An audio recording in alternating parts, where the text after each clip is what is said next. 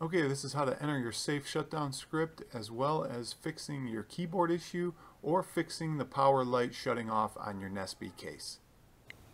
Okay, so you hit that 4 key to put in your script and you start typing uh, and you cannot add the quotation. You get this instead of the quotation or you, you try to you try to use the pipe button, you get something really quirky, um, and it doesn't work either. So here's how you fix that. You got to change your keyboard from UK setting to US setting. And we're just going to exit out of here. We're going to back up to RetroPie. We're going to go to Raspberry config. We're going to go down to localization options, setup language, and regional settings. We're going to go down to change keyboard layout. And then generic 105 key, which it should already prompt you to.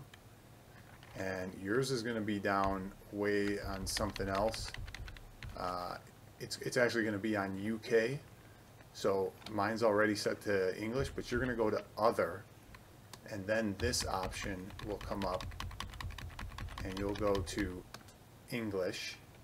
So again yours will probably come up as uh, UK right here and you're going to want to change it to English US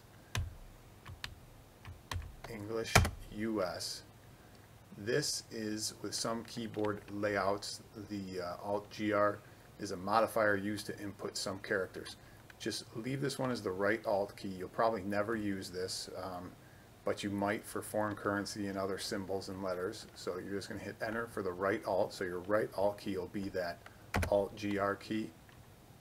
Um, the uh, Compose key, um, the Compose key, also known as the multi key, you just can put no Compose key for that and hit Enter and then basically we are done.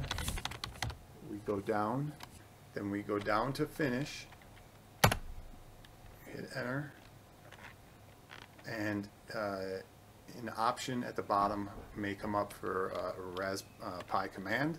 You can just exit out of there and you'll be right back to the RetroPie uh, main menu. Now you can go back to F4 and this is the script you want to write exactly so it's WGET space dash capital O, the letter O, space dash space quotations HTTP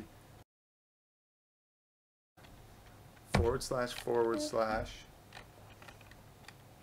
RAW dot GitHub user content com retro flag. And you got to make sure all the casings are right uppercase lowercase. Retro flag.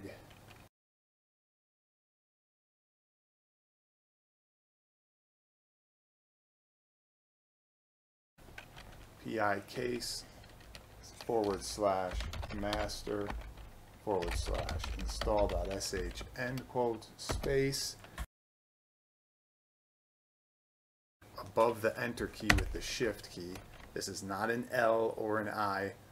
Uh, it's, it's a special character.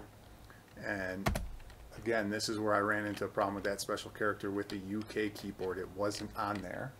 So I had to change the keyboard like I just showed you.